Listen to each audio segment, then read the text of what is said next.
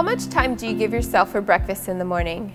If you're like many of my clients, you might give yourself five minutes to eat a quick bowl of cereal before leaving your house. The problem, however, with many breakfast cereals, even the healthy looking versions, is that they're loaded with sugar, sodium, and processed ingredients. A healthier solution would be to eat oatmeal in the mornings. It's high in fiber, it contains antioxidants, and it can help keep you full all morning. Let me show you a great way to make good nutrition easy. In order to save yourself some time, take a couple of minutes to prep your oatmeal at night. First, take an insulated coffee cup, just like this.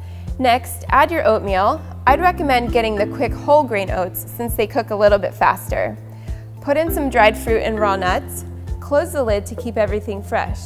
In the morning, all you have to do is boil some water, add it to the oatmeal, close the lid, and your oatmeal will be ready to eat in about five minutes.